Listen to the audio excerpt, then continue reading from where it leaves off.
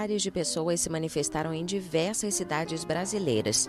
Elas protestavam contra um projeto de lei que equipara qualquer aborto realizado após a 22ª semana ao homicídio simples, mesmo que a mulher tenha sido estuprada, e prevê penas de 6 a 20 anos, o dobro do que pode recair sobre um estuprador. Tramita em regime de urgência na Câmara dos Deputados o projeto de lei 1904 para 2024, que pretende equiparar o aborto produzido realizado a partir de 22 semanas de idade gestacional ao crime de homicídio. Ah, o projeto de lei pretende, portanto, uma alteração no Código Penal ah, brasileiro.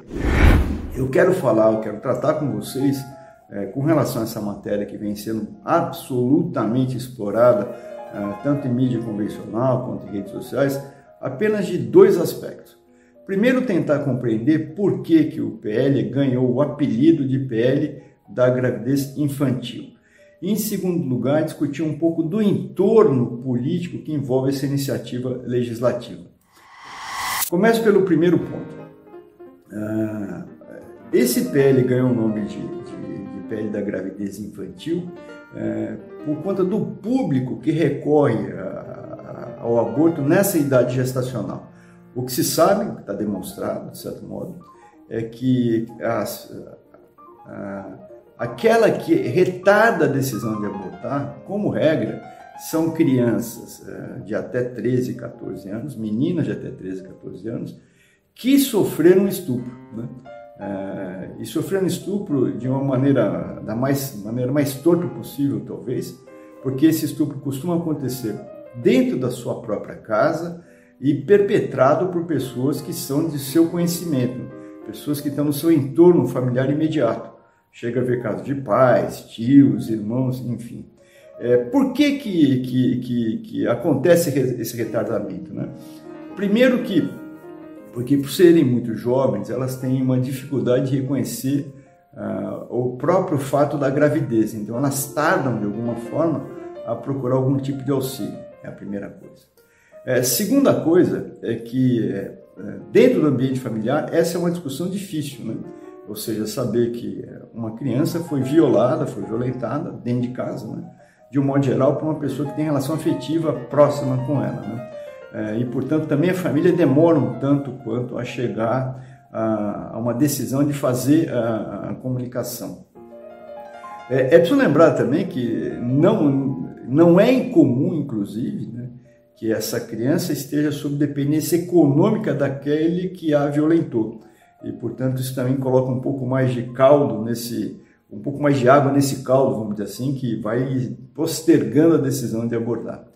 O fato, no entanto, é, o seguinte: quando se suplanta essa, essa, esse conjunto de dificuldades, dado a própria idade da pessoa que sofreu estupro, né, Há depois um trâmite administrativo, burocrático, né, também não é simples. Né? É importante lembrar, por exemplo, que há uma precariedade é, no Brasil bastante evidente na oferta da atenção médica, né, do cuidado médico para os casos de aborto previstos na legislação. Então, tudo isso empurra, é, na verdade, a, essa criança é, que foi vítima de violência sexual a, a conseguir materializar a decisão de, do aborto em idade gestacional relativamente avançada. Né? Então, o que acaba acontecendo, eh, no final das contas, é, como produto desse entorno né, é, que envolve a, o sujeito que procura o aborto, né?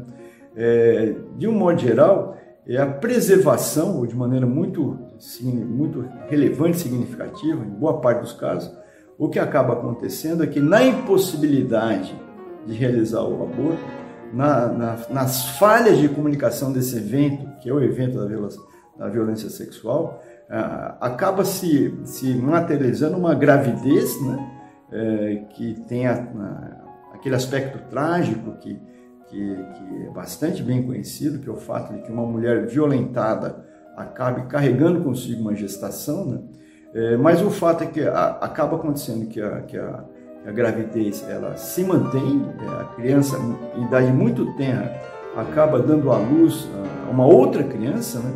E, e, e, portanto, acaba ocorrendo a situação que a gente sabe que tem, inclusive, é, repercussão em censo, né? É, de mães que são mães muito jovens. Né? E aqui eu queria relatar esse primeiro nível de abominação, vamos dizer assim, né? É, do projeto de lei, e dizer que ela tem esse tipo de quadro, esse tipo de situação, tem um impacto intergeracional, porque se sabe né, que mães que são mães muito jovens vão ter filhas que serão mães muito jovens. Né? E essa condição de ser mãe jovem é um agravante para a preservação, para a manutenção da pessoa em condição de pobreza. Né? É, e, portanto, essa situação que ocorre numa certa oportunidade, ela se propaga ao longo da vida, é, como um todo, dessa jovem, né? dessa, dessa criança é, que é vitimada por essa condição. É isso exatamente que faz com que, portanto, o projeto de lei 1904/24 tenha adquirido esse, esse apelido carinhoso de projeto de lei da gravidez infantil. É importante lembrar que a iniciativa né, do projeto é, é de responsabilidade de 32 deputados, é um projeto coletivo, compreendida a razão pela qual o, projeto de lei 1904/2024 ganhou esse carinhoso nome de, de projeto de pele da gravidez infantil, é preciso uh, tomar nas mãos o ponto, o segundo ponto que eu indiquei para vocês na introdução, que é debater um pouco, apresentar um pouco o entorno imediato dessa iniciativa uh, legislativa, né? Então a coisa tem uma certa antecedência, porque no ano passado o Conselho Federal de Medicina baixou uma resolução é, que indicava que a, a, vedação a procedimentos abortivos a partir, se não me engano, da 21ª semana gestacional. É, muito que bem. É, essa proposição do Conselho Federal de Medicina foi, foi confrontada é, por parlamentares do PSOL, e eles provocaram nesse sentido o Supremo Tribunal Federal para que ele eh, reconhecesse haver uma ilegalidade nessa iniciativa, visto que ela afronta a lei existente no país né, e limita o, o acesso ao direito do aborto. Né. Bom, é, provocado o STF, eh, houve uma manifestação do, do, ministro Alexandre Moraes que suspendeu os efeitos é, dessa iniciativa do Conselho Federal de Medicina. É, muito que bem.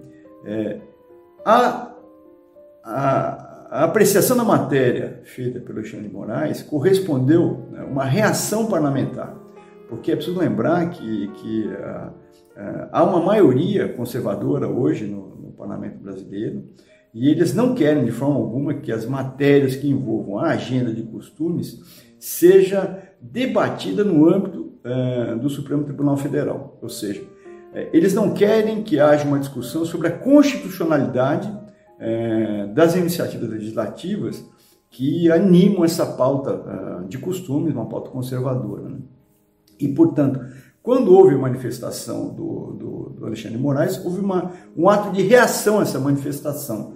E isso está implicado né, é, com a iniciativa do projeto de lei da gravidez infantil. É, e, portanto, há aqui uma disputa entre o Congresso e a Suprema Corte Brasileira, é, e a consequência dessa disputa, de certa forma, são iniciativas como essa que a gente é, vem discutindo. É preciso lembrar, em complemento, né, que, que essa, essa iniciativa de lei, esse projeto de lei, ele não é órfão, né, ele compõe um conjunto de, de proposições parlamentares no sentido de limitar, tanto quanto possível, o acesso ao aborto legal. Né? O que, na verdade, já se faz na prática, essa dificuldade de acesso, né, pela própria realidade concreta. Mas, enfim, ah, há uma pretensão aqui do parlamento, de maioria conservadora no Brasil, de realmente restringir ah, esse direito ah, tão amplamente quanto for possível. Agora, o que é muito curioso, de certa forma, é como o governo está jogando esse jogo. Né? É, há uma indicação clara, acho que o próprio presidente Lula já, já deixou isso, já manifestou essa, essa condição, né? há uma dificuldade de disputar os temas de costumes com a maioria, na verdade, conservadora no Congresso. E o governo, de certa forma, está é, abrindo mão de fazer oposição, né? de jogar o jogo da minoria. Ah, e, portanto, está fazendo um, quase que com vistas grossas ao que está se passando e aos riscos que isso implica. Né? É, a rigor, é sempre é uma conta né, política que se faz, ou seja, é, a, os atores políticos resistem a adentrar temas que podem lhe tomar votos. Né? E, de certa forma, a postura do governo é, se refere exatamente a essa conta, né? porque poderia ser algo de diferente. O governo poderia ser perdedor, acontece muitas vezes, né? mas de alguma forma apoiar os movimentos sociais, em particular aqueles que, que, que defendem direitos de mulheres, a, e que tem por protagonistas as mulheres, poderia, ele poderia apoiar de maneira muito mais clara uh, esses movimentos na luta contra essa agenda de costumes, mas não está fazendo. Né? Uh, porque, por exemplo, obviamente não quer abrir mão dos votos uh, das pessoas que têm profissão de fé religiosa claras. Né? E aqui faço questão de indicar uma coisa: não se trata apenas de evangélicos. Né? É importante lembrar que a Confederação Nacional dos Bispos do Brasil, a CNBB, manifestou, manifestou apoio formal a esse projeto e, ao fazer, ainda cobrou que outras iniciativas parlamentares andassem de fato no Congresso. Né? É, exemplo é, disso é o projeto de lei do, do Nascituro, né? que é outra aberração, de certa forma, mas de que qualquer forma ganha, tem apoio da, da, da Igreja Católica uh, brasileira.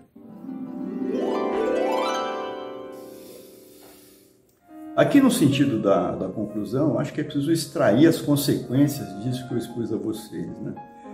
Então, em primeiro lugar, é, esse PL, PL da gravidez infantil, é um atentado contra os direitos de meninas é, no Brasil. Né? É, meninas que são é, vitimadas, são as principais vítimas, é, muitas vezes, de, de, violência sexual, e que vão ser deixadas à sua própria sorte, que vão ser constrangidas, se o, o projeto de lei for aprovado, né, a manter uma gravidez que decorre de, uma, de estupro e, e, e, as obriga a ser mães de, de, em período muito, muito precoce suas vidas. Né? o que, como disse para vocês, é, já as insere num ciclo de pobreza do qual elas não conseguem sair. É, é preciso entender que isso é uma violência, né? violência contra pessoas que já são empobrecidas, contra mulheres, contra crianças, né? e tudo isso sob a égide é, é, do, da defesa do bom costume, vamos dizer assim. Né? importante lembrar nesse aspecto, né? que essa agenda definitivamente não é uma agenda de costumes, isso é uma barbaridade. É, essa é uma agenda de saúde pública e relacionada aos direitos sexuais e reprodutivos das mulheres. É, não, não cabe aqui questões que envolvam credo, mas nesse momento no Brasil, eu diria até que no mundo, né, essas coisas estão realmente é, misturadas. Segunda consequência que eu acho que é importante, é, é o governo é, em particular, né, é, tem tido uma, tem incorrido numa certa omissão sobre esse tema.